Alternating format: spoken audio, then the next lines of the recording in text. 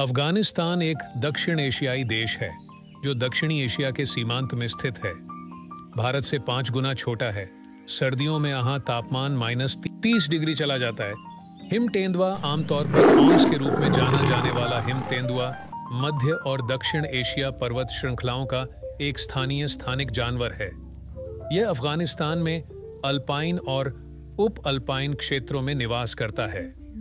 बड़ी काली रोसेट धारियों वाला इसका मोटा सफ़ेद ग्रे कोट, अफ़गानिस्तान की खड़ी, चट्टानी, ऊँचे पहाड़ों के साथ पूरी तरह मेल खाता है। मार्को पोलो भेड़ जब आप अफ़गानिस्तान के पहाड़ों में घूम रहे हैं तो मार्को पोलो भेड़ पर नज़र रखें। ये अविश्वसनीय जानवर अरगाली भेड़ की एक प्रजाति है, जिनका नाम प्रसिद्ध खोजकर्ता मार्को पोलो के नाम पर रखा गया है उन्हें ज़्यादातर उनके लंबे और सर्पिल सींगों से पहचाना जा सकता है।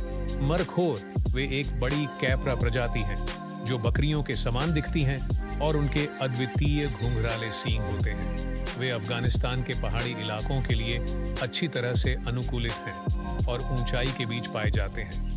वे दैनिक हैं और उन्हें देखने का सबसे अच्छा समय सुबह और देर दोपहर है, जब वे सक्रिय होते हैं। हिमालयन काला भालू अफ़गानिस्तान के जंगली इलाकों में आम, एशियाई काले भालू की इन उप प्रजातियों में एक अनोखा काला कोट हल्का भूरा और उनकी छाती पर सफ़ेद से हल्के पीले रंग का अर्धचंद्र होता है। धारीदार लकड़िए बग्घा धारीदार लकड़बग्घा, हीना जीन्स में एकमात्र मौजूदा प्रजाति है। उन्हें लगभग खतरे में सूचीबद्ध किया गया है, क्योंकि उनकी दुनिया भर में आबादी कम है, जिसमें भारी गिरावट का अनुभव जारी है। अगली तीन पीढ़ियों में कमी आने की उम्मीद है। धारीदार लकड़बग्घे उत्तरी और पूर्वी अफ्रीका, काकेशस, भारतीय उपमहाद्वीप, मध्य पूर्व और मध्य एशिया में पाए जाते हैं। वे मुख्य रूप से सवाना, अर्ध रेगिस्तान और चट्टानी झाड़ियों में पाए जाते हैं। गोल्डन ईगल वे बाज की सबसे बड़ी और सबसे व्यापक रूप से वितरित प्रजातियों में से एक है।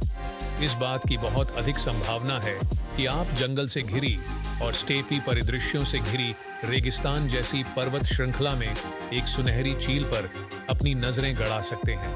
यूरियल शापो या अर्कर के रूप में भी जाना जाता है। यूरियल, मध्य और दक्षिण एशिया के मूल निवासी जंगली भेड़ की एक मध्यम आकार की प्रजाति है। इसका अनोखा लंबा, लाल भूरा कोट ठंड के मौसम में फीका पड़ जाता है। लंबी पूंछ वाला मरमोट, लंबी पूंछ वाले मरमोट को गोल्डन मरमोट भी कहा जाता है। ये आमतौर पर अफ़गानिस्तान के पहाड़ी इलाकों में पाए जाते हैं, जैसा कि नाम से पता चलता है, लंबी पूंछ वाले मरमोट्स अपेक्षाकृत लंबी पूंछ वाली मरमोट्स की प्रजातियाँ हैं।